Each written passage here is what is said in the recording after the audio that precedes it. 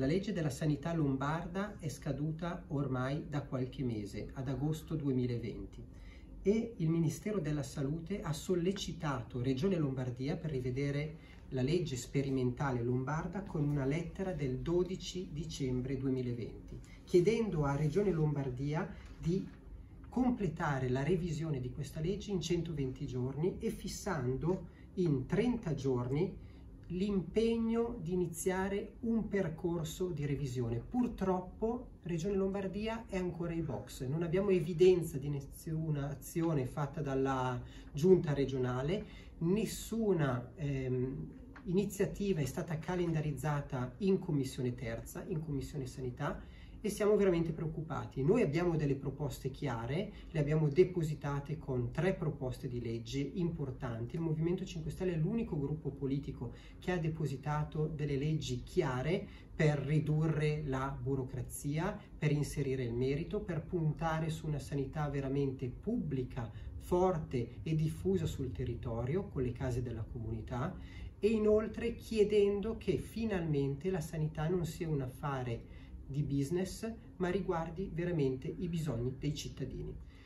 Riteniamo grave, riteniamo grave che ancora ad oggi non ci sia un processo condiviso che sia iniziato in tutte le sedi istituzionali e soprattutto è grave che Regione Lombardia, che il nuovo assessore Moratti, che la Giunta Fontana non ascoltino tutti quei messaggi forti che arrivano dai territori. Lo chiediamo noi, lo chiedono i nostri sindaci, lo chiedono i nostri cittadini. Giunta Fontana, Assessore Moratti, dobbiamo iniziare subito a lavorare. Calendarizziamo la revisione di questa legge 23 che purtroppo si è manifestata e dimostrata fallimentare perché ha dimenticato completamente i nostri territori. La legge 23 ha fallito principalmente nella costruzione della rete di presidio medico territoriale da una parte i nostri medici di base sono stati lasciati da soli e trasformati in impiegati che dovevano smaltire tutta la burocrazia che creava Regione Lombardia e dall'altra parte tutti i presidi che dovevano essere inglobati nei famosi presidi sociosanitari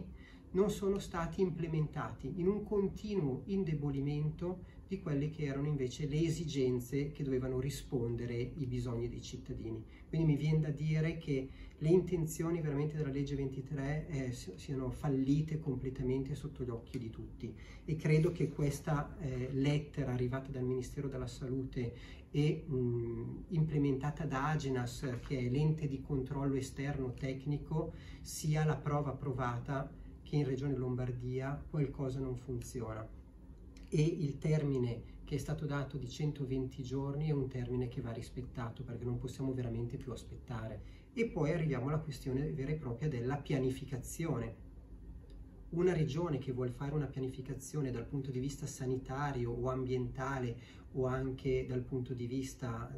economica deve partire da dei dati chiari è evidente che Regione Lombardia sta guidando senza avere la patente. Non ce l'ha perché non sono chiari gli studi epidemiologici sui nostri territori, sulle nostre province, in particolare per esempio la provincia di Cremona che risulta essere una delle province peggiori dal punto di vista ambientale a livello di impatti e presenza di polveri sottili. Ad oggi Regione Lombardia naviga senza avere consapevolezza, quindi su quali dati fa una pianificazione sanitaria.